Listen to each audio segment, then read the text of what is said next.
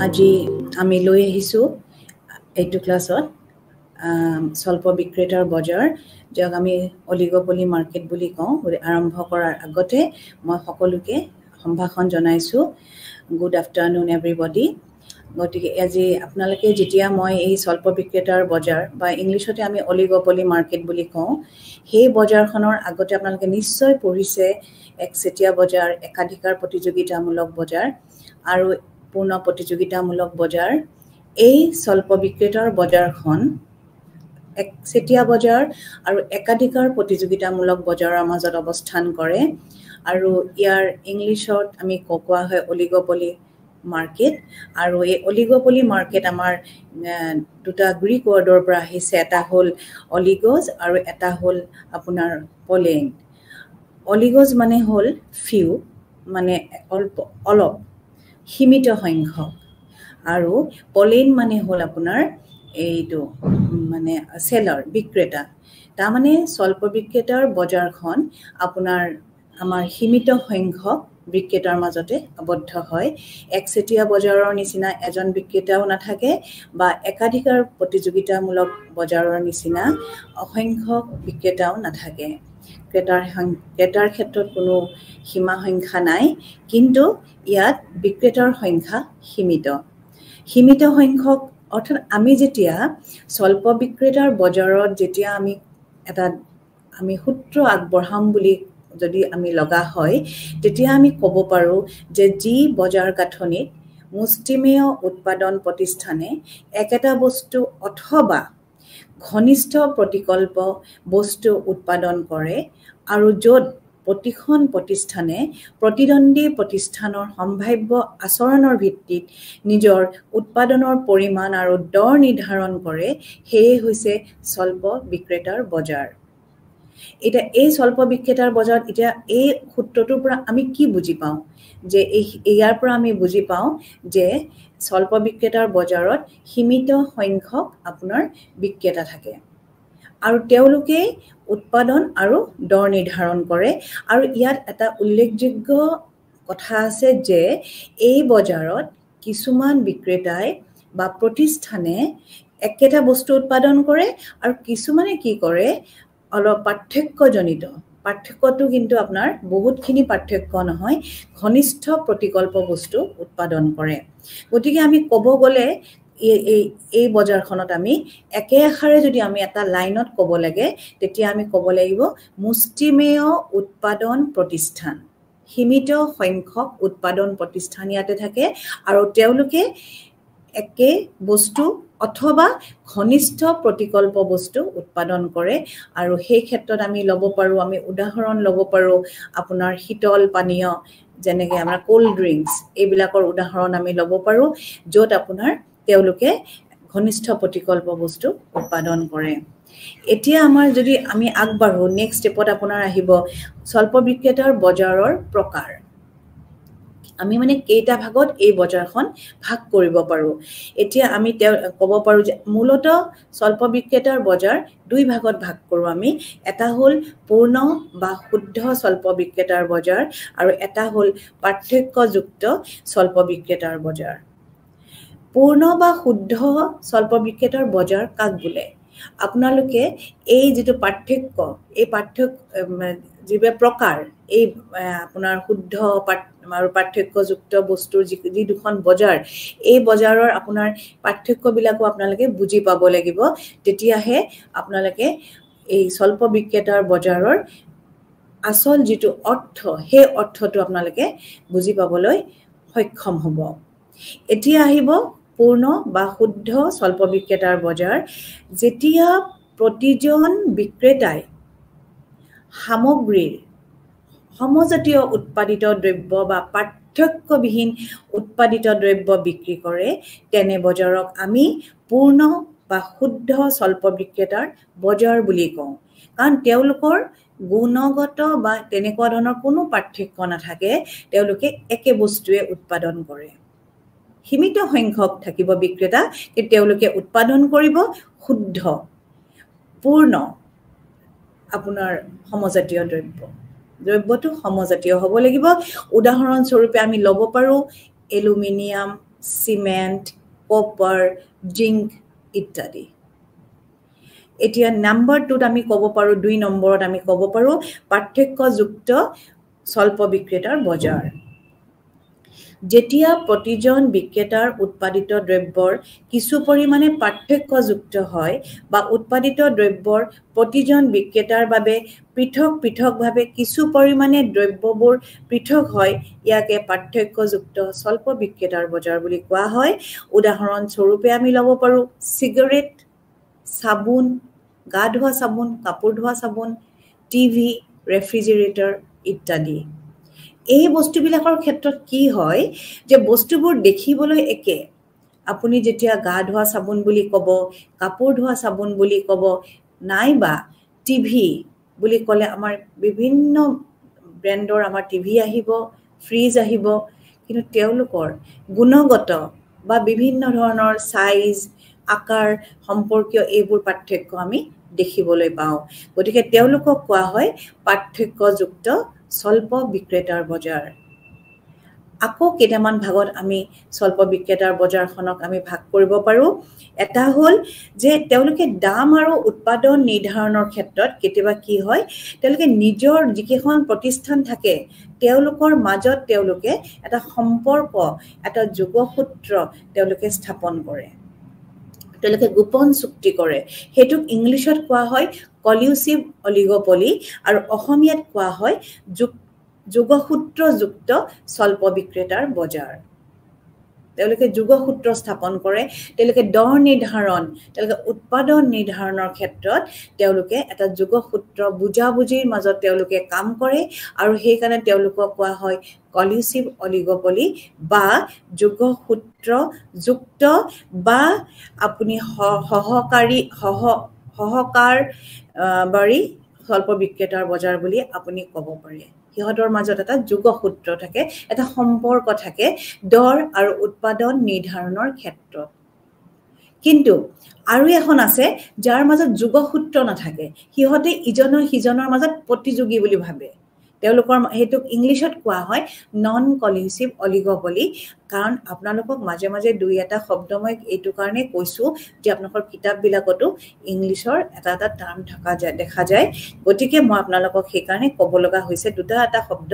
আৰু এই যিটো মই ক'লোঁ নন কলিউচিভ অলিগপলি এই নন কলিউচিভ অলিগপলিৰ ক্ষেত্ৰত বা যোগসূত্ৰবিহীন বিহীন যিটো স্বল্প বিক্ৰেতাৰ বজাৰ এইবিলাকত বুজাবুজি নাথাকে তেওঁলোকৰ। কিহৰ বুজাবুজি?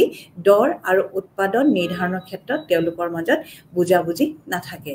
আৰু গতিকে তেওঁলোকক কোৱা হয় যোগসূত্ৰবিহীন বা নন কলিচিভ অলিগপলি এই অলিগপলি বা স্বল্প বিক্ৰেতাৰ বজাৰত সাধাৰণতে আমি দেখা পাওঁ দুই বা দুই দুইতকৈ পৰা দহ বা বাৰ মানৰ বিক্ৰেতা বা প্ৰতিষ্ঠান থকা আমি দেখা সাধাৰণতে দেখা যায়। কাৰণ দুইতকৈ যদি কম হৈ যায় এখন প্ৰতিষ্ঠান যেতিয়া আহিব সেই বজাৰখন তেতিয়া হৈ যাব একচেটীয়া বজাৰ। আৰু অসংখ্য হৈ গ'লে সেইখন হৈ যাব একাধিকাৰ প্ৰতিযোগিতামূলক বজাৰ যিটোৰ কাৰণে আমি কওঁ যে এই স্বল্প বিক্ৰেতাৰ বজাৰখন একচেটীয়া আৰু একাধিকাৰ বজাৰৰ মাজত অৱস্থান কৰে। আপোনালোকৰ এই নিশ্চয় মই ভাবোঁ যে আপোনালোকৰ ইয়াৰ যিটো অৰ্থ অলিগবলি বা স্বল্প বিক্ৰেতাৰ বজাৰৰ যিটো অৰ্থ সেইটো আপোনালোকৰ আপোনালোকে বুজিবলৈ সক্ষম হৈছে যে মুষ্টিমেয় উৎপাদন সীমিত সক্ষম উৎপাদন প্ৰতিষ্ঠান আৰু তেওঁলোকে কেতিয়াবা পাৰ্থক্যবিহীন বা কেতিয়াবা পাৰ্থক্যযুক্ত আপোনাৰ বস্তু উৎপাদন কৰিব পাৰে আৰু তেওঁলোক একচেটীয়া আৰু একাধিকাৰ প্ৰতিযোগিতামূলক বজাৰৰ মাজত অৱস্থান কৰে য'ত একতকৈ বেছি হ'বই লাগিব প্ৰতিষ্ঠানৰ সংখ্যা আৰু অসংখ্য হ'ব নোৱাৰিব। এয়াই আমি স্বল্প বিক্ৰেতাৰ বজাৰৰ আমি এটা আপোনালোকক অৰ্থ দিবলৈ মই চেষ্টা কৰিলোঁ। আপোনালোকে নিশ্চয় বুজি পাইছে গতিকে আপোনালোকে এইটো এটা প্ৰশ্নৰ আকাৰত লিখিব পাৰে যে স্বল্প বিক্ৰেতাৰ বজাৰ বুলিলে কি বুজা আৰু ইয়াৰ বিভিন্ন প্ৰকাৰ কি কি। প্ৰকাৰবোৰ ক'লেতো আপোনালোকক মই ক'লোৱেই শুদ্ধ বা পাৰ্থক্যবিহীন আৰু নেক্সট হ'ল পাৰ্থক্যযুক্ত যোগসূত্ৰবিহীন যোগসূত্ৰত থকা অৰ্থাৎ কলিউচিভ নন কলিউচিভ আৰু এটা আছে আপোনাৰ খোলা আৰু বন্ধ। কিছুমান কিছুমান স্বল্প বিক্ৰেতাৰ বজাৰত বাহিৰৰ প্ৰতিষ্ঠান সোমাব নোৱাৰে আৰু কিছুমানত কি হয় বাহিৰৰ প্ৰতিষ্ঠান সোমাব পাৰে। সেইটোক ক'ব খোলা আৰু বন্ধ প্ৰতিষ্ঠান। এতিয়া আমি নেক্সট আমি যদি ক'বলৈ যাওঁ নেক্সট আমাৰ আহিব স্বল্প বিক্ৰেতাৰ বজাৰৰ বৈশিষ্ট্য। বৈশিষ্ট্য খুবেই ইম্পৰ্টেণ্ট আপোনালোকৰ পৰীক্ষাৰ বাবেও ইম্পৰ্টেণ্ট জানিবও লাগিব। আৰু এই বৈশিষ্ট্যখিনি জানিলে আপোনালোকৰ আৰু বেছি ক্লিয়াৰ হ'ব যে স্বল্প বিক্ৰেতাৰ বজাৰ মানে কি। কি কি বৈশিষ্ট্য থাকিলে এখন বজাৰক আমি স্বল্প বিক্ৰেতাৰ বজাৰ বুলি ক'ব পাৰোঁ। গতিকে বৈশিষ্ট্যখিনি আপোনালোকে ভালকৈ পঢ়িব। নাম্বাৰ ওৱান আমি কওঁ যে মুখ্য বৈশিষ্ট্যসমূহ। নাম্বাৰ ওৱানত আহিব প্ৰতিষ্ঠানৰ সংখ্যা সীমিত। এই বজাৰখনত স্বল্প বিক্ৰেতাৰ বজাৰত যিবোৰ সীমিত সংখ্যক বৈশি প্ৰতিষ্ঠান থাকে বা বিক্ৰেতা থাকে তেওঁলোকক আমি গণিব পাৰোঁ। তেওঁলোক অসংখ্য নহয়। আৰু তেওঁলোক এই অলপীয়া প্ৰতিষ্ঠানখনে ইখন প্ৰতিষ্ঠানে সিখন প্ৰতিষ্ঠানক ভালদৰে চিনি পায় তেওঁলোকে। তেওঁলোকে দৰ নিৰ্ধাৰণৰ ক্ষেত্ৰত উৎপাদনৰ পৰিমাণ নিৰ্ধাৰণৰ ক্ষেত্ৰত তেওঁলোকে এখন প্ৰতিষ্ঠানৰ পৰা আন এখন প্ৰতিষ্ঠানলৈকে তেওঁলোকে খুব সহজতে তেওঁলোকে দৰ নিৰ্ধাৰণৰ সহায় সহযোগিতা লয় আৰু গতিকে তেওঁলোকে চিনি পায় কাৰণ তেওঁলোক অসংখ্য নহয়। তেওঁলোক অসংখ্য নহয়। তেওঁলোকে নিজৰ অলপীয়া সীমিত সংখ্যক প্ৰতিষ্ঠান মুষ্টিমেয়। এইটো হ'ল প্ৰথম স্বল্প বিক্ৰেতাৰ বজাৰৰ প্ৰতিষ্ঠানৰ বৈশিষ্ট্য যে প্ৰতিষ্ঠানৰ সংখ্যা সীমিত। তাৰপিছত আহিব পাৰস্পৰিক নিৰ্ভৰশীলতা। এই বজাৰত মই আপোনালোকক বাৰে বাৰে কৈ আছোঁ যে এই বজাৰত বিক্ৰেতা বা প্ৰতিষ্ঠানৰ সংখ্যা সীমিত গতিকে এই সংখ্যা সীমিত হোৱাৰ কাৰণে কি হয় তেওঁলোকে কাৰোৰ কাৰোৰ পৰা কোনো বিচ্ছিন্ন নহয়। লগ লাগি থাকে আৰু সংখ্যাৰ দৃষ্টিৰে তেওঁলোক যে কম হয় তেওঁলোকে ইজনৰ এখন প্ৰতিষ্ঠানৰ গতিবিধি সম্পৰ্কে এই আন এখন প্ৰতিষ্ঠানে তাৰ গতিবিধি জ্ঞাত হয়। জানে যে সেইখন প্ৰতিষ্ঠানে সেনেকুৱা এটা মানে ষ্টেপ পদক্ষেপ ল'ব পাৰে। কেনেকুৱা পদক্ষেপ? বজাৰৰ ক্ষেত্ৰত জেনেৰেলিটো দৰ বা উৎপাদনৰ ক্ষেত্ৰতে আমি পদক্ষেপ ল'ব লাগিব। বেলেগটো আৰু আমি একো পদক্ষেপ ল'ব নোৱাৰোঁ। হয় দৰ নিৰ্ধাৰণ নহ'লে উৎপাদন নিৰ্ধাৰণ চাহিদা নিৰ্ধাৰণ এইবিলাকে হ'ল বজাৰৰ এটা এটা উপাদান। গতিকে আমি এই সীমিত সংখ্যক এই নগণ্য সংখ্যক যিখিনি প্ৰতিষ্ঠান থাকে তেওঁলোকে ইজনে সিজনৰ পৰা বিচ্ছিন্ন নহয়। তেওঁলোকে ইজনে সিজনৰ গতিবিধি সম্পৰ্কে জ্ঞাত হয়। কোনোবা এখন উৎপাদন প্ৰতিষ্ঠানে যদি দাম বা উৎপাদনৰ পৰিমাণ পৰিৱৰ্তন কৰে ইখন প্ৰতিষ্ঠানৰ ওপৰত সেই উৎপাদনৰ বা সেই দৰ নিৰ্ধাৰণৰ যিটো পৰিৱৰ্তন কৰিলে তেওঁৰ ওপৰত প্ৰভাৱ পৰে তেওঁলোক নিজকে সদায় সচেতন কৰি ৰাখে তেওঁলোকৰ প্ৰতিদ্বন্দ্বী প্ৰতিষ্ঠানবিলাকৰ পৰা। গতিকে তেওঁলোকে গতিবিধিবিলাক লক্ষ্য কৰি নিজৰ পথত তেওঁলোক আগুৱাব পাৰে। পাৰস্পৰিকভাৱে আলোচনা কৰিও তেওঁলোকে উৎপাদনৰ দৰ নিৰ্ণয় কৰে। কাৰণ সিহঁতৰ সীমিত সংখ্যক উৎপাদন প্ৰতিষ্ঠান গতিকে যদি দৰ নিৰ্ধাৰণ কৰিবলগীয়া হয় তেওঁলোকে আলোচনা কৰে। ইজন এখন প্ৰতিষ্ঠানে সিখন প্ৰতিষ্ঠানৰ লগত আলোচনা কৰে আৰু সেইমতে তেওঁলোকে আগবাঢ়ি যায়। নেক্সট আহিব বিক্ৰী আৰু বিজ্ঞাপন ব্যয়ৰ আৱশ্যকতা। আপোনালোকক মই প্ৰথমতে এটা কথা কওঁ যে স্বল্প বিক্ৰেতাৰ বজাৰৰ ক্ষেত্ৰত যেতিয়া উৎপাদনৰ তেওঁলোকে বজাৰত বস্তু বিক্ৰী কৰিবলৈ যায় তেওঁলোকে দৰৰ পৰিৱৰ্তনৰ ওপৰত বস্তু কেতিয়াও বিক্ৰী নকৰে। তেওঁলোকে বিক্ৰী ব্যয়ৰ ওপৰত গুৰুত্ব দিয়ে। এতিয়া আমি জানিব লাগিব বিক্ৰী ব্যয় কি। বিক্ৰী ব্যয় হ'ল আমি বিক্ৰী বৃদ্ধি কৰিবলৈ যি ব্যয় কৰোঁ সেয়ে হ'ল বিক্ৰী ব্যয়। যেনেকৈ আমি বিজ্ঞাপন দিওঁ আপোনালোকে নিশ্চয় দেখিছে পেপাৰ মেগাজিন মানে বাতৰি কাকত মেগাজিন প্লাছ আপোনাৰ টিভি এইবিলাকত টেলিভিশ্যনত আমি কিমান বিজ্ঞাপন দেখোঁ। আনকি আমি এইটোও ক'ব পাৰোঁ যে আজিকালি আমি ইউটিউব চেনেলটো খুলিলেও তাতো আমি বিজ্ঞাপন ফেচবুকত বিজ্ঞাপন অৰ্থাৎ সামাজিক মাধ্যমতো আমি আজিকালি দেখা পাওঁ আপোনাৰ বিজ্ঞাপনৰ পয়োভৰ এই অলিগপলি স্বল্প বিক্ৰেতাৰ বজাৰত এই বিজ্ঞাপনে এটা উল্লেখযোগ্য ভূমিকা গ্ৰহণ কৰে। তেওঁলোকে বিজ্ঞাপন আদিৰে তেওঁলোকে তেওঁলোকৰ উৎপাদন তেওঁলোকে বিক্ৰী বৃদ্ধি কৰিবলৈ চেষ্টা কৰে তাৰ কাৰণে তেওঁলোকে যথেষ্ট টকা ভৰিবলগীয়া হয় যথেষ্ট ব্যয় ভৰিবলগীয়া হয়। কাৰণ তেওঁলোকে বিজ্ঞাপনত কি দেখুৱায়? তেওঁলোকে বিজ্ঞাপনত দেখুৱায় তেওঁলোকৰ বস্তুটোৰ শ্ৰেষ্ঠতা গুণগত মানদণ্ড কিমান উন্নত সেইবোৰৰ বিষয়ে তেওঁলোকে গ্ৰাহকক অৱগত অৱগত কৰিবলৈ তেওঁলোকে চেষ্টা কৰে। আৰু বিক্ৰী ব্যয়ৰ মাধ্যমত তেওঁলোক বজাৰ ক্ষেত্ৰ এখন তৈয়াৰ কৰিবলৈ তেওঁলোকে আগ্ৰহী হয়।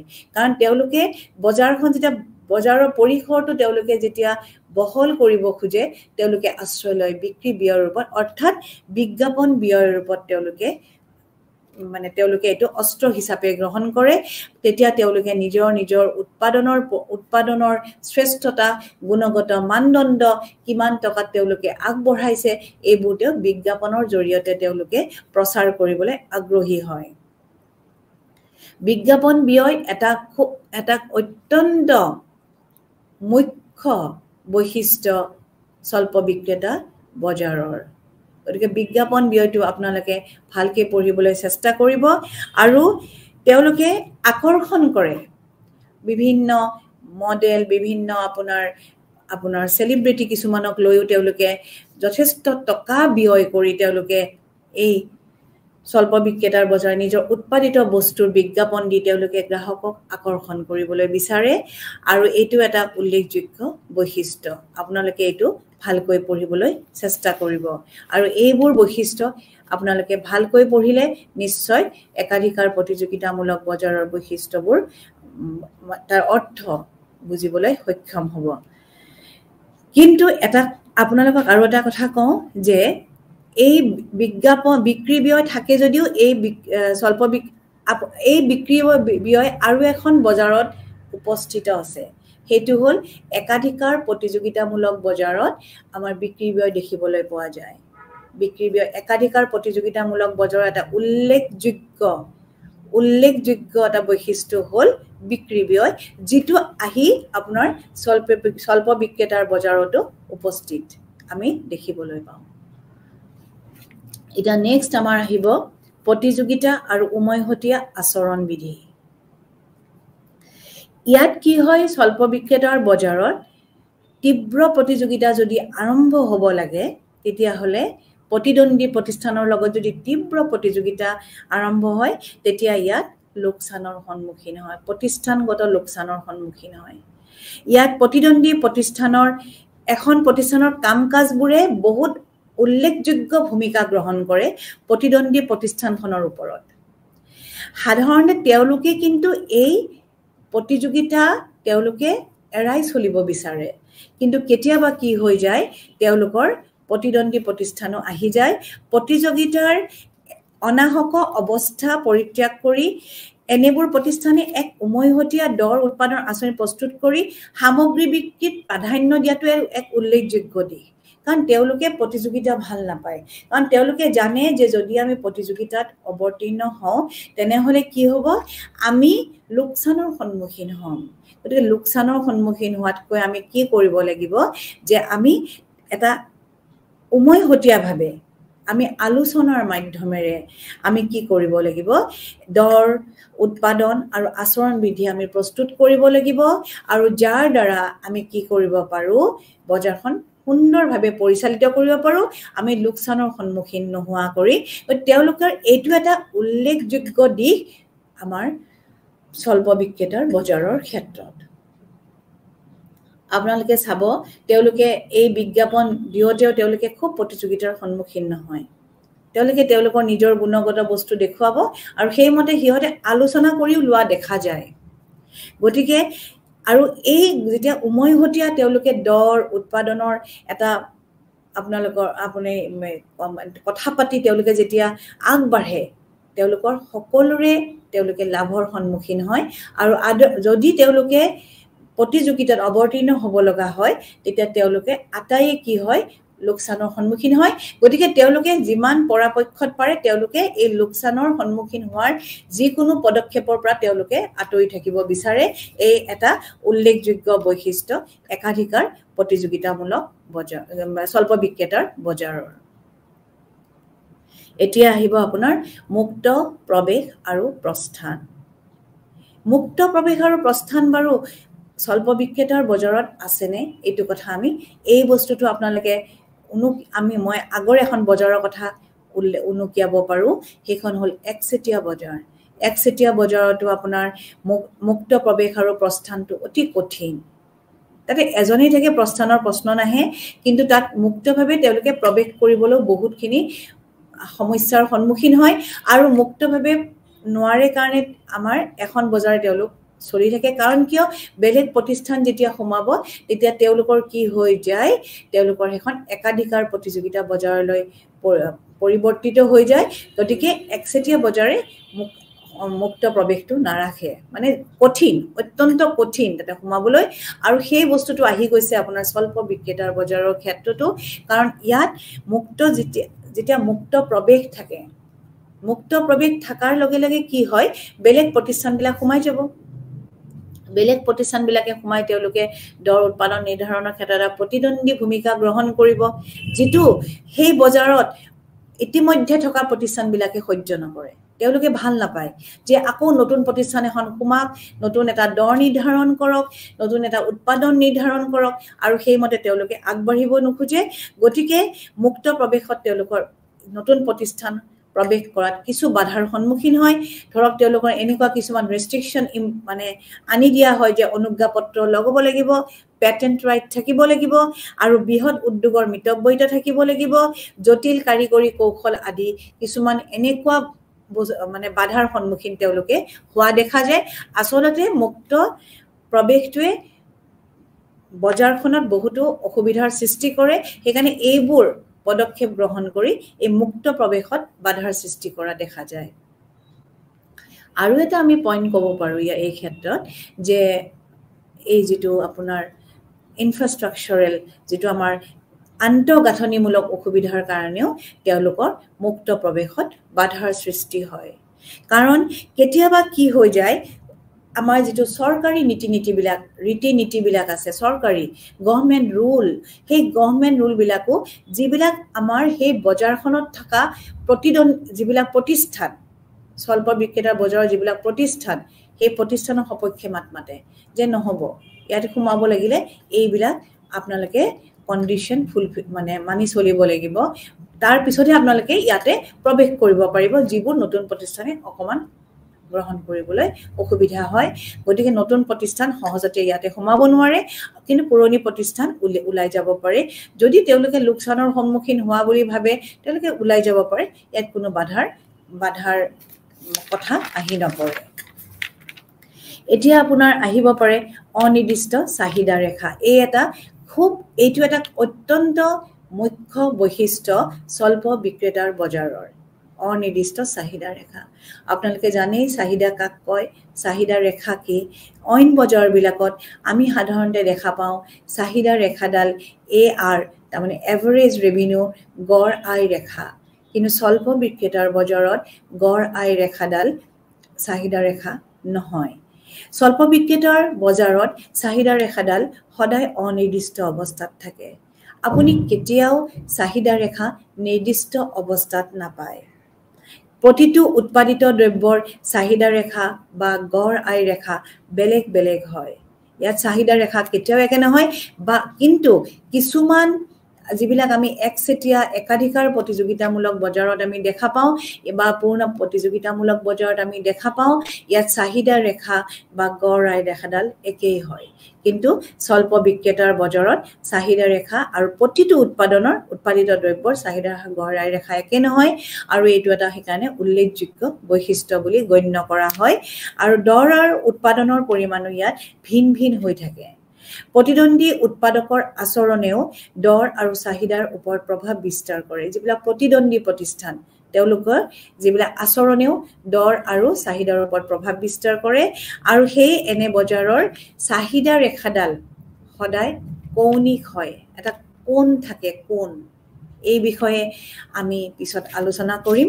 আজি আপোনালোকে এইখিনিয়ে জানি লওক যে এনে বজাৰৰ চাহিদা ৰেখাডাল সদায় কৌণিক হয় কৌণিক কিংট কে আই এন কে ডি একচেটীয়া বজাৰৰ উপস্থিতি। আৰু এটা উল্লেখযোগ্য বৈশিষ্ট্য হ'ল ইয়াৰ একচেটীয়া বজাৰৰ উপস্থিতি। তাৰমানে কেনেকুৱা যে ইয়াত আমি জানোৱেই স্বল্প বিক্ৰেতাৰ বজাৰত সীমিত সংখ্যক উৎপাদন প্ৰতিষ্ঠান থাকে।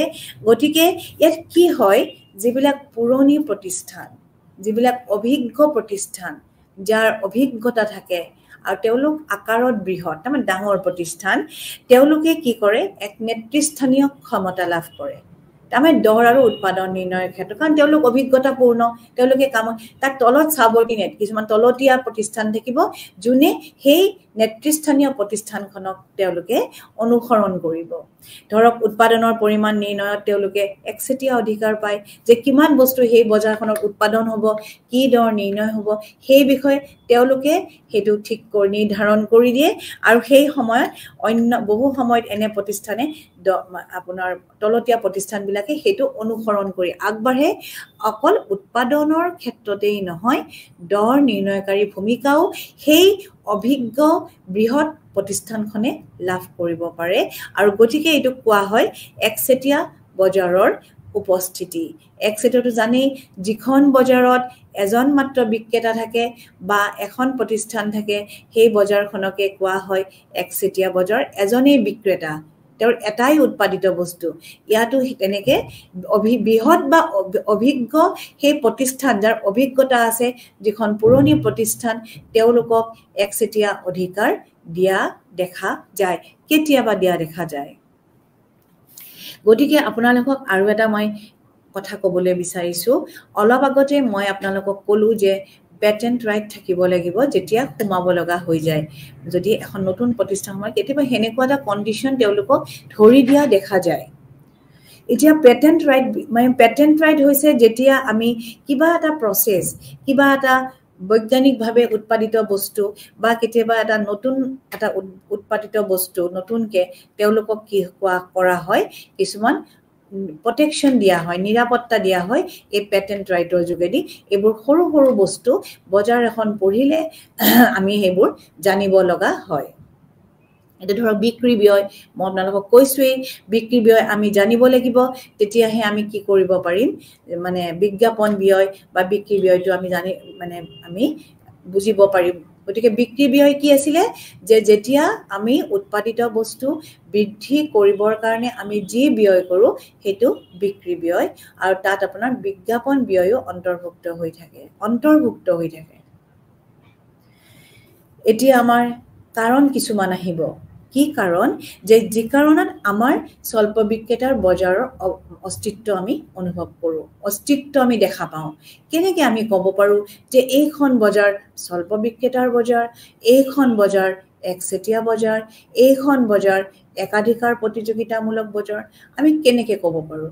হয় তাৰ কিছুমান কাৰণ থাকিব লাগিব যিবোৰ কাৰণ আমি দেখা পালে ক'ব পাৰিম হয় এইখন স্বল্প বিক্ৰেতাৰ বজাৰ এইখন একচেটীয়া বজাৰ এইখন একাধিকাৰ প্ৰতিযোগিতামূলক বজাৰ। গতিকে আমাৰ স্বল্প বিক্ৰেতাৰ বজাৰৰ অস্তিত্বৰ আমি কিবোৰ কাৰণবোৰ আমি চাব পাৰোঁ? এক নম্বৰ হ'ব লাগিব মূলধনৰ বৃহৎ বিনিয়োগ। ইয়াত যদিও সীমিত সংখ্যক মুষ্টিমেয় উৎপাদন প্ৰতিষ্ঠান থাকে ইয়াত কিন্তু বিনিয়োগ যিটো বৃহৎ বিজনেছত ব্যৱসায়ত যিটো বিনিয়োগ কৰা হয় সেইটো যথেষ্ট বৃহৎ মূলধন বিনিয়োগ কৰা হয়। প্ৰয়োজন হয় বিনিয়োগ কৰিবলৈ। কোনো প্ৰতিষ্ঠানে উদ্যোগটোত বৃহৎ সংখ্যক বিনিয়োগ কৰি সং আৰু এটা আমি উল্লেখযোগ্য কথা ইয়াৰ হ'ল ইমান সংখ্যক বিনিয়োগ কৰি এটা তেওঁলোকে ব্যৱসায় আৰম্ভ কৰাৰ পিছত তেওঁলোকে কেতিয়াও সংকটত পৰিবলৈ নিবিচাৰে। তেওঁলোকে কেতিয়াও বিপদত পৰিব নিবিচাৰে। গতিকে তেওঁলোকে সাধাৰণতে দৰ যুদ্ধত অৱতীৰ্ণ হ'ব নিবিচাৰে। এটা উল্লেখযোগ্য বৈশিষ্ট্য স্বল্প বিক্ৰেতাৰ বজাৰত তেওঁলোকে যিমান পাৰে সিমান আপোনাৰ দৰ যুদ্ধ প্ৰাইচ ৱাৰ মানে তেওঁলোকে এৰাই চলিব বিচাৰে। আপোনালোকে চাওক মই যেতিয়া শুদ্ধ বিক্ৰেতাৰ বজাৰ বুজাইছোঁ তেতিয়া মই এটা উদাহৰণ দিছিলোঁ এলুমিনিয়াম চিমেণ্ট জিংক এইবোৰ উদ্যোগত যথেষ্ট সংখ্যক যথেষ্ট বৃহৎ বিনিয়োগৰ প্ৰয়োজন হয়। আৰু এই বৃহৎ বিনিয়োগ এটা স্বল্প বিক্ৰেতাৰ বজাৰৰ এটা উল্লেখযোগ্য দিশ। আৰু বৃহৎ বিনিয়োগ যদি কৰি তেওঁলোকে লোকচানৰ সন্মুখীন হ'ব তে সেইটো অসম্ভৱ কথা। কাৰণ ইমান টকা কোনেও হেৰুৱাব নোখোজে। তেওঁলোকে লাভৰ দিশত যাবলৈ বিচাৰে যাৰ কাৰণে যিবিলাক প্ৰতিদ্বন্দ্বী প্ৰতিষ্ঠানৰ লগত তেওঁলোকে যুদ্ধ কৰিবলৈ নিবিচাৰে কাৰণ প্ৰতিদ্বন্দ্বী প্ৰতিষ্ঠানখনে যে সাধাৰণতে দেখা যায় দৰ উঠা নমা কৰিব বা উৎপাদনৰ পৰিমাণ কম বেছি কৰিব বিচাৰে সেইবোৰ তেওঁলোকে সাধাৰণতে আলোচনাৰ মাধ্যমেৰে তেওঁলোকে সদায় এৰাই চলিব বিচাৰে কাৰণ তেওঁলোকে বিনিয়োগ কৰি তেওঁলোকে সংকটত পৰিব নিবিচাৰে এই এটা উল্লেখযোগ্য দিশ। তাৰপিছত আহিব প্ৰয়োজনীয় সম্পদৰ নিয়ন্ত্ৰণ। এই প্ৰতিষ্ঠানবিলাকে যিবোৰ ব্যয় কৰে যিবোৰ ব্যয় কৰে সেইবোৰ তেওঁলোকে নিয়ন্ত্ৰণ কৰিব পাৰে। তেওঁলোকে নিয়ন্ত্ৰণ কৰে ব্যয়বিলাক আৰু তেওঁলোকে সদায় এই ব্যয়টো নিয়ন্ত্ৰণ কৰে কাৰণে তেওঁলোকে লাভজনক স্থিতিত উপনীত হয়। তেওঁলোকে লাভজনক স্থিতিত উপনীত কিহৰ কাৰণে হয়? কাৰণ তেওঁলোকে ব্যয় যথেষ্ট কৰে আৰু ব্যয়টো তেওঁলোকে নিয়ন্ত্ৰণ কৰিবলৈ তেওঁলোকে সমৰ্থবান হয়। আৰু কিছুমান আইনগত প্ৰতিবন্ধকো থাকে যেনে আপোনাৰ কিছুমান প্ৰতিষ্ঠানে আপোনাৰ চৰকাৰৰ পৰা কিছুমান চাৰ্টিফিকেট বা তেওঁলোকে অনুমতি ল'ব লগা হয় কিছুমান উদ্যোগ স্থাপনৰ ক্ষেত্ৰত। এই এটা স্বল্প বিক্ৰেতাৰ বজাৰৰ উল্লেখযোগ্য দিশ। যে তেওঁলোকে বৃহৎ বিনিয়োগৰ বৃহৎ প্ৰতিষ্ঠান যেতিয়া স্থাপন কৰিবলৈ যাব তেওঁলোকে নিজৰ অস্তিত্বৰ কাৰণে তেওঁলোকে আৰম্ভ কৰে patent right patent right plus তেওঁলোকে চৰকাৰৰ অনুমতি গ্ৰহণ কৰিবলগীয়া হয় বা অৰ্থাৎ চাৰ্টিফিকেট বা অনুমতি পত্ৰ তেওঁলোকে গ্ৰহণ কৰিবলগীয়া নহ'লে তেওঁলোকে সেই প্ৰতিষ্ঠানখন স্থাপন কৰিবলৈ অসুবিধা হয়। আৰু এটা আছে উৎপাদনৰ মিতব্যয়িতা। আপোনালোকে জানেনে উৎপাদনৰ মিতব্যয়িতা কি বস্তু? উৎপাদনৰ মিতব্যয়িতা হৈছে যে কম কম ব্যয়ত উৎপাদন কৰা। কম ব্যয়ত উৎপাদন কৰা আৰু এই ক্ষেত্ৰত আমি কিছুমান বস্তু ল'ব পাৰোঁ যে তেওঁলোকে কেনেকৈ কম ব্যয়ত উৎপাদন কৰিব এইটো আমাৰ অৰ্থনীতি বিজ্ঞানৰ আৰু এটা কথা আছে যে আমি কওঁ যে এজন উৎপাদনকাৰীয়ে কেতিয়া ভাৰসাম্যতা লাভ কৰে যেতিয়া তেওঁলোকে কম ব্যয়ত সৰ্বাধিক উৎপাদন কৰে তেতিয়া তেওঁলোকে ভাৰসাম্যতা লাভ কৰে। ঠিক তেনেকৈ স্বল্প বিক্ৰেতাৰ বজাৰতো আমি ক'ব পাৰোঁ যে তেওঁলোকৰ উৎপাদন মিতব্যয়িতা থাকে। তেওঁলোকে উৎপাদনৰ মিতব্যয়িতা মানে হ'ল তেওঁলোকৰ উৎপাদন ব্যয় বা অন্যান্য ব্যয়বিলাকৰ ওপৰত তেওঁলোকৰ নিয়ন্ত্ৰণ থাকে। আৰু কেতিয়াবা আমি দেখা যাওঁ দেখা পোৱা যায় যে স্বল্প বিক্ৰেতাৰ বজাৰ লোকেল বা স্থানীয় বজাৰতো আমি কেতিয়াবা দেখা পাওঁ। ধৰক কেনেকুৱা ধৰণৰ সৰু সৰু চহৰত কিছু সংখ্যক প্ৰতিষ্ঠানে কি কৰে চাহিদা পূৰণ কৰিবলৈ চেষ্টা কৰে। আৰু যথেষ্ট হয়। সেই সৰু সৰু চহৰবিলাকত তেওঁলোকে সেই বজাৰ সেই চহৰখনৰ চাহিদাটো পূৰণ কৰিবৰ কাৰণে তেওঁলোক যথেষ্ট হয়। কেনেকৈ চাব? এটা উদাহৰণ মই দিব পাৰোঁ যে পেট্ৰল বেংক এইবোৰ কি? এইবোৰ ক্ষুদ্ৰ ক্ষুদ্ৰ সীমিত সংখ্যক প্ৰতিষ্ঠানৰ দ্বাৰা তেওঁলোকৰ চাহিদা পূৰণ হয়। তাৰপিছত এটা নেক্সট আমি যদি আপুনি স্বল্প বিক্ৰেতাৰ বজাৰৰ ইয়াৰ পিছত যদি আমি আগবাঢ়িব লাগে স্বল্প বিক্ৰেতাৰ বজাৰ দেখা পোৱাৰ আৰু এটা কাৰণ আমাৰ হয় উৎকৃষ্ট উদ্যোগী।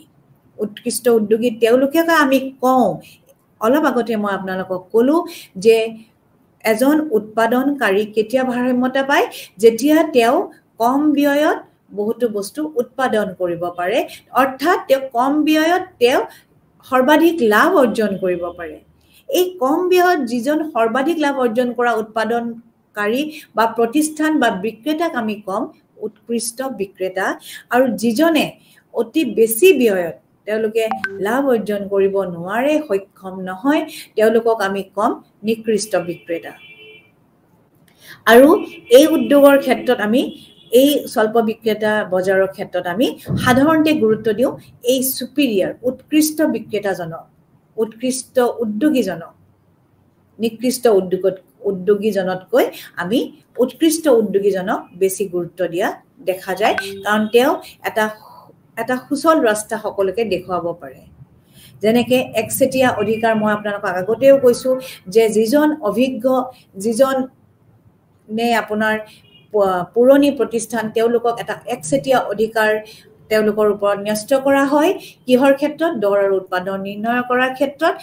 ঠিক তেনেকুৱাকে উৎকৃষ্ট উৎপাদনকাৰী উৎকৃষ্ট বিক্ৰেতা উৎকৃষ্ট প্ৰতিষ্ঠানখনক আমি এই স্বল্প বিক্ৰেতাৰ বজাৰৰ ক্ষেত্ৰত যথেষ্ট গুৰুত্ব দিয়া দেখা যায়। আৰু এটা উল্লেখযোগ্য আমি পইণ্ট ক'ব পাৰোঁ মাৰ্জাৰ মাৰ্জাৰ এটা ইংলিছ শব্দ যদিও ইয়াত মানে কি দুটা বা তিনিটা কোম্পেনী বা প্ৰতিষ্ঠান লগ লাগি কাম কৰে। তেওঁলোকে যেতিয়া অকলে নোৱাৰে অকলে এখন প্ৰতিষ্ঠান যেতিয়া আগবাঢ়িব নোৱাৰে তেতিয়া তেওঁলোকে দুই তিনিখন এনেকৈ লগ লাগি যাব। লগ লাগি এটা এটা ধুনীয়া প্ৰতিষ্ঠান গঠন কৰি এটা শক্তিশালী প্ৰতিষ্ঠান গঠন কৰি তেওঁলোক আগবাঢ়ি যাব পাৰে। আৰু এওঁলোকৰ মুখ্য এই মাৰ্জাৰবিলাকৰ মুখ্য উদ্দেশ্য মাৰ্জাৰৰ মুখ্য উদ্দেশ্য হৈছে তেওঁলোকৰ শক্তি বৃদ্ধি কৰা সম্পদ বৃদ্ধি কৰা আৰু উৎপাদনৰ মিতব্যয়িতা আৰু বজাৰৰ পৰিসৰ বৃদ্ধি কৰা। কাৰণ যিমানে তেওঁলোকে বজাৰৰ পৰিসৰ বৃদ্ধি কৰে তেওঁলোকৰ লাভৰ পৰিমাণ বৃদ্ধি পায়। এখন বজাৰ দুখন বজাৰত তেওঁলোকৰ বস্তু সীমিত হ'ব নোৱাৰে। তেওঁলোকৰ বজাৰ বৃদ্ধি কৰা তেওঁলোকৰ মুখ্য উদ্দেশ্য। তেওঁলোকে অকলে এখন প্ৰতিষ্ঠান নোৱাৰিলে তেওঁলোকে কেইখনমান প্ৰতিষ্ঠান লগ লাগি হৈ তেওঁলোকে মিলা প্ৰীতিৰে তেওঁলোক আগবাঢ়ে আৰু তেওঁলোকে সেইটো কাৰণেই তেওঁলোকে শক্তি বৃদ্ধি কৰে। তেওঁলোকৰ নিজৰ পাৱাৰটো বৃদ্ধি কৰে যাতে তেওঁলোকে উৎপাদন বেছি কৰিব পাৰে উৎপাদন বৃদ্ধি কৰিব কিন্তু কম ব্যয় অৰ্থাৎ মিতব্যয়িতাত আৰু তেওঁলোকে সম্পদ বৃদ্ধি কৰিব মিতব্যয়িতাত আৰু সেইদৰে তেওঁলোকে আগবাঢ়ে। আৰু তেওঁলোকৰ মুখ্য উদ্দেশ্যই হ'ব তেওঁলোকৰ শক্তি বৃদ্ধি কৰি বজাৰৰ পৰিসৰ অকল নিজৰ ঠাইৰ ভিতৰতে নহয় অইন অইন ঠাইলৈও তেওঁলোকে তেওঁলোকৰ উৎপাদিত বস্তু প্ৰসাৰ সাধন কৰিবলৈ সক্ষম হয় আৰু সেইটোৱে তেওঁলোকৰ প্ৰধান উদ্দেশ্য। এতিয়া এই উদ্যোগটোততো প্ৰৱেশৰ অসুবিধা। আৰু এটা কাৰণ আছে য'ত আমি দেখা পাওঁ তাত স্বল্প বিক্ৰেতাৰ বজাৰৰ উপস্থিতি। সেই উদ্যোগটোৰ অসুবিধা মই আপোনালোকক আগতেও উল্লেখ কৰিছোঁ যে উদ্যোগত প্ৰৱেশৰ কি কি অসুবিধা দেখা যায়। সেই অসুবিধাবিলাক মই কৈছোঁ পেটেণ্ট ৰাইট আন্তঃগাঁথনিমূলক অসুবিধা কাৰিকৰী কৌশলৰ অসুবিধা থাকিব পাৰে। এই অসুবিধাবিলাকৰ কাৰণে সহজতে নতুন প্ৰতিষ্ঠান উদ্যোগটোত প্ৰৱেশ কৰিব নোৱাৰিব পাৰে। গতিকে এইকেইটা হ'ল আপোনাৰ আপোনালোকে এটা এখন বজাৰ স্বল্প বিক্ৰেতাৰ বজাৰ বুলি চিনাক্ত কৰিব পৰা কাৰণ এইকেইটা উপাদান এইকেইটা। এইকেইটা উপাদান য'ত আপোনালোকে দেখা পায় গম পাব যে এইখন এখন স্বল্প বিক্ৰেতাৰ বজাৰ। এইখন একচেটীয়া বজাৰ নহয় এইখন পূৰ্ণ প্ৰতিযোগিতামূলক বজাৰ নহয় এইখন একাধিকাৰ নহয়। এতিয়া আপোনালোকক আৰু অকণমান মই বেলেগ স্বল্প বিক্ৰেতাৰ বজাৰৰ অৰ্থ মানে দৰ উৎপাদন নিৰ্ণয়ৰ কিছুমান সৰু সৰু বস্তু মই বুজাই দিব ওলাইছোঁ য'ত আপোনালোকে আৰু ভালকৈ ইয়াৰ অৰ্থটো আপোনালোকৰ ক্লিয়াৰ হ'ব। অলিগপলি বজাৰত দৰ আৰু উৎপাদনৰ পৰিমাণ কেতিয়াও স্থিৰ নহয় সেই কথাটো আপোনালোকে মনত ৰাখিব। প্ৰতিষ্ঠানৰ আত্মনিৰ্ভৰশীলতাই এই প্ৰতিষ্ঠান এটাত অনিশ্চয়তাত আগবঢ়াই লৈ যায়। এই অৱস্থাৰ এই অৱস্থাত স্বল্প বিক্ৰেতাৰ বজাৰৰ ভাৰসাম্য দৰমহা অসুবিধাৰ সৃষ্টি হয় আৰু তেতিয়া তেওঁলোকে তেওঁলোকে কিন্তু এটা বস্তুত আপোনালোকে জানিব যে যিখন প্ৰতিষ্ঠানে তেওঁলোকে তেওঁলোকৰ প্ৰতিদ্বন্দ্বী প্ৰতিষ্ঠানকেইখনক অনুসৰণ কৰি থাকে। যে তেওঁলোকে দৰ নিৰ্ধাৰ কমাইছে নেকি? তেওঁলোকে উৎপাদন কিবা পৰিৱৰ্তন কৰিছে নেকি? তেওঁলোকে এই বস্তুটো সদায় তেওঁলোকে গুৰুত্ব দি থাকে। তেওঁলোকে সদায় গুৰুত্ব দি থাকে যে স্বল্প বিক্ৰেতাৰ বজাৰৰ এই প্ৰতিষ্ঠান যিটো সীমিত সংখ্যক প্ৰতিষ্ঠান থাকে তেওঁলোকৰ গতিবিধিবিলাক চাই থাকে দৰ আৰু উৎপাদন নিৰ্ণয়ৰ ক্ষেত্ৰত। খুব ইম্পৰ্টেণ্ট এটা প্ৰশ্ন যে দৰ আৰু উৎপাদন নিৰ্ণয় কেনেকৈ হয় তাৰ আগত আপোনালোকে কিছুমান মডেল আছে সেই মডেলবোৰ জনাৰ আগতে আপোনালোকে এইখিনি কথা আপোনালোকে জানিব লাগিব। আৰু সেই এই যে এখন প্ৰতিষ্ঠানে যদি দৰ কেনে তেওঁলোকে যদি অকণমান কমাই দিব খোজে বাকী প্ৰতিষ্ঠানকেইখনেও দৰ কমাই দিবলৈ বাধ্য হয়। কিন্তু কোনোবাই যদি বঢ়াই দিয়ে কোনোবা এখন প্ৰতিষ্ঠানে যদি বঢ়াই দিয়ে তেতিয়া অইন প্ৰতিষ্ঠানখিনি দৰ বঢ়াই নিদিয়ে। এনেকুৱা ধৰণৰ অনিশ্চয়তা স্বল্প বিক্ৰেতাত বিৰাজমান। স্বল্প বিক্ৰেতাৰ বজাৰত বিৰাজমান। সেইকাৰণে ইয়াত কি হয় স্থিৰ চাহিদা ৰেখাও নাথাকে আৰু স্থিৰ গড় আয় ৰেখাও নাথাকে। আৰু সেইটো কাৰণে এই বজাৰত দৰ আৰু উৎপাদন নিৰ্ণয়ৰ ক্ষেত্ৰত অলপ অসুবিধাৰ সৃষ্টি হয়।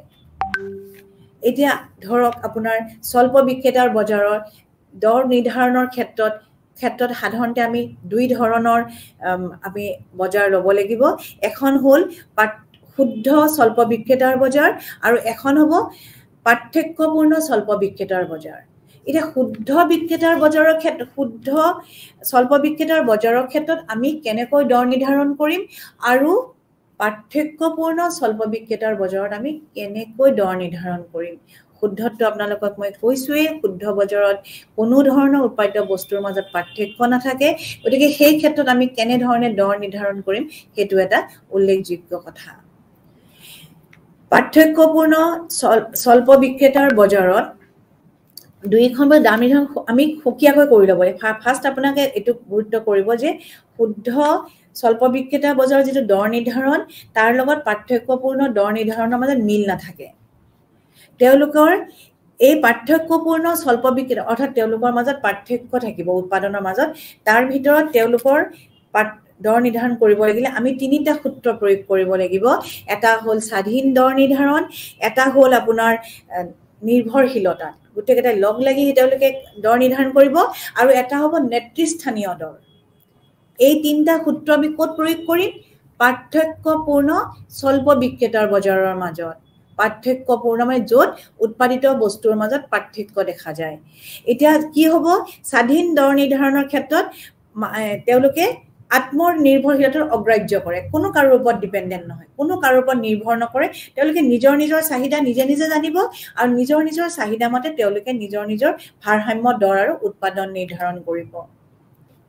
তাৰপিছত আহিব দৰ নিৰ্ধাৰণ বা কলিউশ্যনৰ ওপৰত। কলিউশ্যন মানে তেওঁলোকে লগ লাগি এটা কাৰ্টেল গঠন কৰে। কাৰ্টেল মানে গ্ৰুপ অফ ফাৰ্মছ তেওঁলোকে সেইটো গঠন কৰিব। গঠন কৰি তেওঁলোকে সেই কাৰ্টেলটোৱে যিটো আপোনাৰ মুখ্য প্ৰতিষ্ঠানৰ পৰা তেওঁলোকে চিনাক্ত কৰিব সেই কাৰ্টেলখন আৰু তেওঁ তেওঁলোকে কি কৰিব? এটা আপোনাৰ দৰ আৰু উৎপাদন নিৰ্ধাৰণ কৰি তেওঁলোকে নিৰ্ধাৰণ কৰি দিব আৰু সেইমতে অইন প্ৰতিষ্ঠানবিলাকে তাক গ্ৰহণ কৰি আগবাঢ়ে আৰু এই ক্ষেত্ৰত তেওঁলোকে সৰ্বাধিক লাভ অৰ্জন কৰে। আৰু এটা হ'ল নেতৃস্থানীয় দৰ। নেতৃস্থানীয় দৰটো কি? তেওঁলোকে প্ৰতিযোগী বিক্ৰেতাসকলৰ প্ৰতিক্ৰিয়াবিলাক আগতে ভাবি লয় যে তেওঁলোকে দৰ কমাব নেকি? তেওঁলোকে উৎপাদনৰ কিবা পৰিমাণ কমাব নেকি? আৰু সেইটো অনুমান কৰি সেই চিকাৰ্যবিলাকৰ সেই চিকাৰ্যৰ ওপৰত তেওঁলোকে নিৰ্ভৰ কৰি তেওঁলোকে কি কৰিব? এটা দৰ নিৰ্ধাৰণ কৰি ল'ব। আৰু এই নিৰ্ধাৰণৰ সময় চিকাৰ্য ভিত্তি কৰি সমাধান কৰে যে কেনেকে দৰ নিৰ্ধাৰণ কৰিব কি হাৰত দৰ নিৰ্ধাৰণ কৰিব। আৰু এই তিনিটা বস্তু এই তিনিটা সূত্ৰৰ ওপৰত নিৰ্ভৰ কৰিয়ে কি হয় স্বল্প বিক্ৰেতাৰ বজাৰত বিভিন্ন মডেল আগবঢ়াইছে। দৰ নিৰ্ধাৰণৰ ক্ষেত্ৰত এটা হ'ল কৰ্ণত মডেল মডেল এটা হ'ল পল চুৱেজিৰ কৌণিক বা তিৰ্যক স্থিতিস্থাপকতা মডেল। এই মডেলবিলাক আমি পিছত আলোচনা কৰিম কিন্তু আজি আপোনালোকক মই এইখিনি বস্তু কৰাই দিলোঁ যে কেনেকৈ দৰ নিৰ্ধাৰণ কৰা হয়। স্বাধীন দৰ নিৰ্ধাৰণটো আপোনালোকে বুজি পালে। দৰ যুদ্ধটো বুজি আৰু এটা কথা যেতিয়া আমাৰ পাৰ্থক্যযুক্ত উৎপাদন প্ৰতিষ্ঠানে যেতিয়া দৰ নিৰ্ধাৰণ কৰিব যাব তেওঁলোকে কি কৰিব? দৰ যুদ্ধত কেতিয়াবা অৱতীৰ্ণ হোৱা দেখা যায়। কিন্তু সাধাৰণতে দৰ যুদ্ধটো তেওঁলোকে কিন্তু অগ্ৰাহ্য কৰিব চেষ্টা মানে অতিক্ৰম কৰিব বা এভইড কৰিব তেওঁলোকে চেষ্টা কৰে। কাৰণ তেওঁলোকে জানে যে দৰ যুদ্ধ কৰি একো লাভ নাই আমি লোকচানৰহে সন্মুখীন হ'ম। দৰ যুদ্ধ কেতিয়া হয় গম পায়নে দৰ যুদ্ধ কি স্বল্প বিক্ৰেতাৰ বজাৰত দৰ যুদ্ধ বুলিলে কি বুজা? এইটো এটা প্ৰশ্ন হ'ব পাৰে। দৰ যুদ্ধ মানে হ'ল কিছুমান সামগ্ৰী সীমিত সংখ্যক প্ৰতিষ্ঠান থকাৰ কাৰণে কেতিয়াবা কি হয় অইন উৎপাদনকাৰীয়ে সামগ্ৰীটো দৰ হ্ৰাস কৰে। হ্ৰাস কৰাৰ লগে লগে কি হয় কিছু এই অইন প্ৰতিষ্ঠানকেইখনে সেইটো অনুমান কৰি থাকে যে তেওঁলোকে দৰ হ্ৰাস কৰিছে। এওঁলোকে হ্ৰাস কৰিলে হয়তো তেওঁলোকৰ ব্যয়টো কাভাৰ নহ'লে তেওঁলোকে লোকচানৰ সন্মুখীন হ'ব আৰু এনেদৰে তেওঁলোকে জ্বৰ দৰ যুদ্ধত তেওঁলোকে অৱতীৰ্ণ হ'ব লগা হয়। কিন্তু পৰাপক্ষত তেওঁলোকে দৰ যুদ্ধটো এভইড কৰিব চেষ্টা কৰে। আৰু দৰ স্থবিৰতা দৰ স্থবিৰতা এটা স্বল্প বিক্ৰেতা বজাৰৰ এটা উল্লেখযোগ্য দিশ। দৰ প্ৰতিযোগিতামূলক বজাৰত কি হৈ যায় এই দৰ যুদ্ধৰ পৰা পৰিত্ৰাণ পাবলৈকে তেওঁলোকে দৰ স্থবিৰতা নীতি গ্ৰহণ কৰে। দৰ স্থবিৰতা হৈছে তেওঁলোকে দীৰ্ঘকাললৈ তেওঁলোকে একে দাম ৰাখি থয়। একে দাম ৰাখি তেওঁলোকে কি কৰে তেওঁলোকৰ বিক্ৰী প্ৰক্ৰিয়া তেওঁলোকৰ ব্যৱসায় প্ৰতিষ্ঠান তেওঁলোকে চলাই নিবলৈ সক্ষম হয়। কাৰণ কিয়? ভৱিষ্যতৰ পৰা তেওঁলোকে ভৱিষ্যতত যিবিলাক আপোনাৰ শংকা আছে যিবিলাক বিপদ আছে সেইবোৰ তেওঁলোকে এভইড কৰিব বিচাৰে। যাৰ কাৰণে দীৰ্ঘকালত তেওঁলোকে দৰটো তেওঁলোকে পৰিৱৰ্তন কৰিবলৈ নোখোজে। এইটো এটা স্বল্প বিক্ৰেতাৰ খুব উল্লেখযোগ্য দিশ। তেওঁলোকে চাহিদাৰ ওপৰত নিৰ্ভৰ কৰি দৰ নিৰ্ধাৰণ কৰি তেওঁলোকে চাহিদাটোৰ মতে তেওঁলোকে চাহিদা ৰেখাডাল আপোনাৰ ইয়াক আপোনাৰ পৰিৱৰ্তন কৰিব কিন্তু তেওঁলোকে দৰ পৰিৱৰ্তন কৰিবলৈ নোখোজে। কাৰণ চলিত দৰতে তেওঁলোকে লাভ অৰ্জন কৰিব বিচাৰে। কাৰণ দৰ যুদ্ধৰ ফলত কি হয়? তেওঁলোকে গ্ৰাহক হেৰুৱায়। তেওঁলোকে গ্ৰাহক হেৰুৱায়। কাৰণ কিয়? তেওঁলোকৰ প্ৰতিদ্বন্দ্বী প্ৰতিষ্ঠানখনে তেওঁলোকে কি কৰিব? দৰ হ্ৰাস কৰি গ্ৰাহক টানি লৈ যাব আৰু যিকেইখনে দৰ হ্ৰাস কৰা নাই তেওঁলোকে গোটেই গ্ৰাহক হেৰুৱাব গতিকে তেওঁলোকে দৰ স্থবিৰতা তেওঁলোকে গ্ৰহণ কৰে। আৰু চাহিদাৰ এই কৌণিক স্থিতিস্থাপকতা যিটো মই কৈছিলোঁ পল চুৱেজিৰ যিটো মডেল এই মডেলটোত যেতিয়া আমি অধ্যয়ন কৰিম যেতিয়া আমি বুজিম তেতিয়া আমি বুজি পাম যে দৰ স্থবিৰতা কি আৰু এই কৌণিক দৰ চাহিদাৰ যিটো আপোনাৰ ৰেখা আহিব তাৰ পৰা আমি বুজি পাম যে স্বল্প বিক্ৰেতাৰ বজাৰত কেনেকৈ দৰ নিৰ্ধাৰণৰ উৎপাদন নিৰ্ধাৰণ কৰা হয়। আৰু এতিয়া আৰু এটা কথা মই ইয়াতে উনুকিয়াব খুজিছোঁ যে স্বল্প বিক্ৰেতাৰ বজাৰৰ আৰু এটা এখন বজাৰ তাত আছে সেইখন হ'ল মাত্ৰ দুজন উৎপাদনকাৰী থাকে আৰু সেই দুজন উৎপাদনকাৰীক কোৱা হয় উৎপাদনকাৰী বজাৰক কোৱা হয় দ্বৈত বা দয়াধিকাৰ বজাৰ।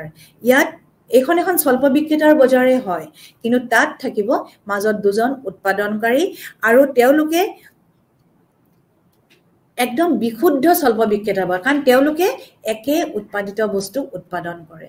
তাত মাত্ৰ দুজন উৎপাদনকাৰী থাকে। সেইকাৰণে তেওঁলোকক কোৱা হয় দয়াধিকাৰ বজাৰ। এতিয়া মই অকণমান আপোনালোকক ক'ব বিচাৰিছোঁ স্বল্প বিক্ৰেতাৰ বজাৰ আৰু কৌণিক চাহিদা। সেইটো কোৱাৰ আগতে মই আপোনাক আপোনালোকক দুটামান প্ৰশ্ন দিব বিচাৰিছোঁ। এটা হ'ল আপোনালোকৰ আহিব পাৰে স্বল্প বিক্ৰেতাৰ বজাৰ কি? স্বল্প বিক্ৰেতা বজাৰৰ বৈশিষ্ট্য কি? আপোনালোকে বৈশিষ্ট্যবোৰ লিখিব যিবিলাক মই কৈ দিলোঁ। আৰু এটা আৰু এটা প্ৰশ্ন আপোনালোকে সেয়া কৰি মানে পঢ়িব। সেইটো হ'ল আপোনাৰ স্বল্প বিক্ৰেতাৰ বজাৰ হ'বলৈ লাগিলে কি কি কাৰকৰ উপস্থিতিৰ প্ৰয়োজন হয়। এই তিনিটা আপোনাৰ স্বল্প বিক্ৰেতাৰ বজাৰৰ প্ৰশ্ন মই আগবঢ়ালোঁ। আৰু এটা লিখিব আৰু এটা আপোনালোকে পঢ়িব পাৰে। সেইটো হ'ল বিক্ৰী ব্যয় কি? এতিয়া আপোনাৰ মই যদি অকণমান আপোনালোকক এটা থুলমূলকৈ আইডিয়া দিব খুজিছোঁ স্বল্প বিক্ৰেতা বজাৰ আৰু কৌণিক চাহিদাৰ ওপৰত যিটো আগবঢ়াইছিলে অধ্যাপক পি চুইজি নামৰ এজন অৰ্থনীতিবিদে। আৰু তেখেতে কৈছিলে যে ভাৰসাম্য ইয়াত আৰু দুজন অৰ্থনীতিবিদে সহায় কৰিছিলে তেওঁলোক হ'ল হল আৰু হিটছ আৰু তেওঁলোকে গড় ব্যয় অধ্যয়নত এই কৌণিক বা তিৰ্যক চাহিদা ৰেখাৰ ধাৰণা প্ৰয়োগ কৰিছিলে। তেওঁলোকে কৈছিল যে স্বল্প বিক্ৰেতাৰ বজাৰখনৰ চাহিদা থাকিলেও সামগ্ৰীৰ দৰ স্থিৰ হয়। তাৰমানে সামগ্ৰীৰ দৰৰ পৰিৱৰ্তনৰ ওপৰত তেওঁলোকে গুৰুত্ব দিয়া নাছিলে আৰু কেতিয়া পৰিৱৰ্তন হয় যেতিয়া কেতিয়ালৈকে দৰ স্থিৰ থাকে যেতিয়ালৈকে আৰ্থিক উপাদানে দৰ পৰিৱৰ্তন নকৰে। যদি আৰ্থিক উপাদানে দৰ পৰিৱৰ্তন কৰে তেতিয়ালৈকে দৰ স্থিৰে থাকে। আৰ্থিক উপাদানে পৰিৱৰ্তন কৰিলেহে দৰটো পৰিৱৰ্তন হয় আৰু এই স্থবিৰ দৰ আৰু উৎপাদনৰ বিশ্লেষণ কৰিবলৈ এই কৌণিক চাহিদা যিটো আপোনাৰ তিৰ্যক স্থিতিস্থাপকতা ধাৰণাটো বিশ্লেষণ কৰিছিলে আপোনাৰ এই চুৱেজি নামৰ অৰ্থনীতিবিদে। তেওঁ কৈছিলে যে দৰ কেতিয়া স্থবিৰ হয় তেওঁলোকৰ মতে। তেওঁলোকে কৈছিল যেতিয়া যেতিয়া সামগ্ৰীৰ বজাৰ চাহিদা ৰেখাৰ অৱস্থা সদায় অনিশ্চিত হৈ থাকে তেতিয়া দৰ স্থবিৰ হয়।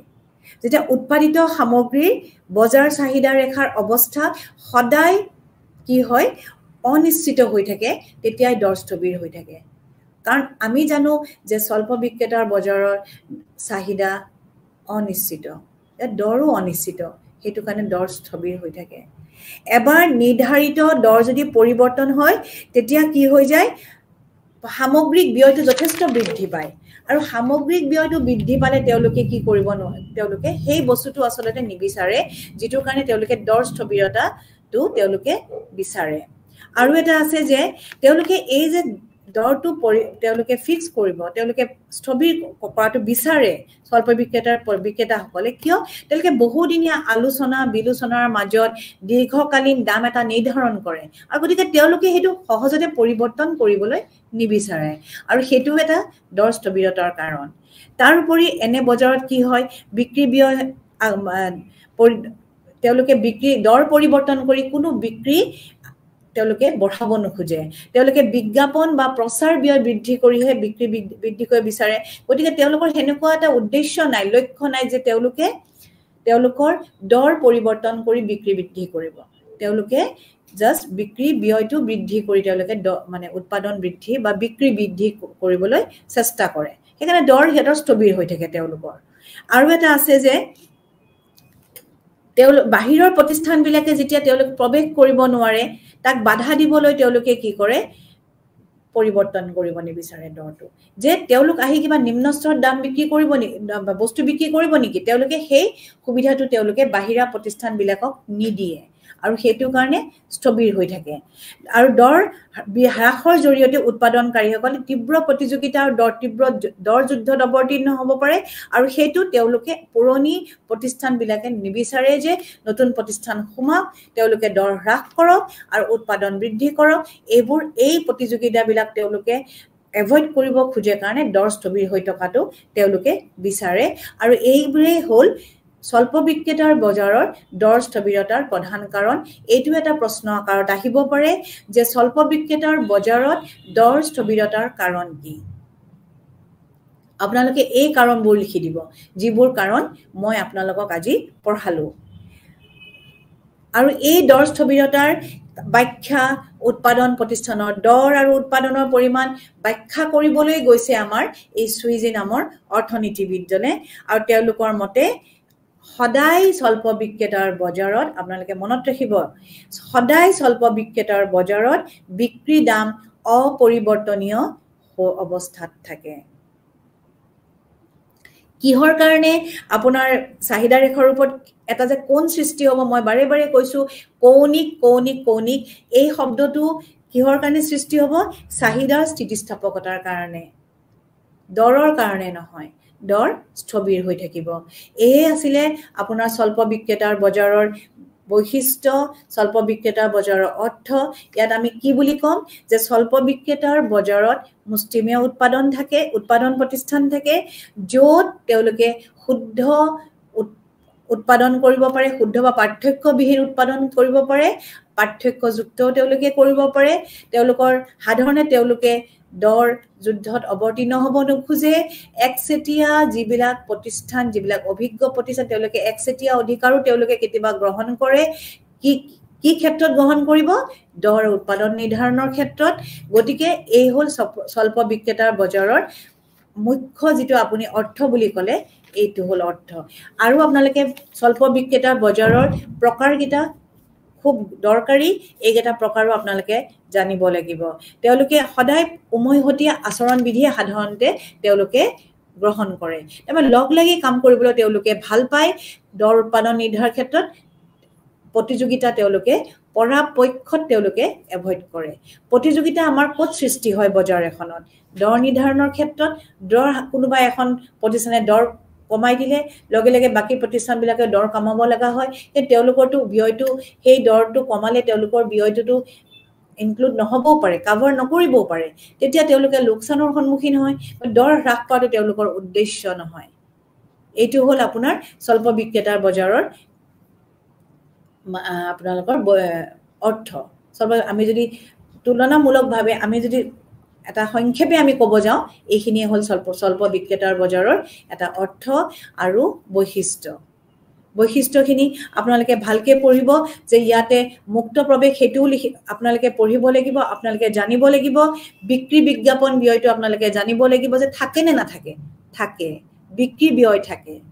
আপোনালোকৰ এনেকেও এটা চুটিকৈ প্ৰশ্ন আহিব পাৰে যে এনেকে যে স্বল্প স্বল্প বিক্ৰেতাৰ বজাৰত বিক্ৰী ব্যয়ৰ উপস্থিতি থাকে নে নাথাকে। আপোনালোকে তেতিয়া জানিব লাগিব বিক্ৰী ব্যয়ৰ উপস্থিতি থাকে। যেনেকে একাধিকাৰ প্ৰতিযোগিতামূলক বজাৰত থাকে। সীমিত সংখ্যক উৎপাদনকাৰী সেইটোতো আপোনালোকে গমেই পালে। আপোনালোকক মই ইতিমধ্যে গোটেইখিনি কথা জনালোৱেই। তাৰোপৰি তেওঁলোকে নিৰ্ভৰশীল হয় নে নহয়? পাৰস্পৰিক নিৰ্ভৰশীলতা থাকে নাথাকে? থাকে। পাৰস্পৰিক নিৰ্ভৰশীলতা এটা উল্লেখযোগ্য বৈশিষ্ট্য।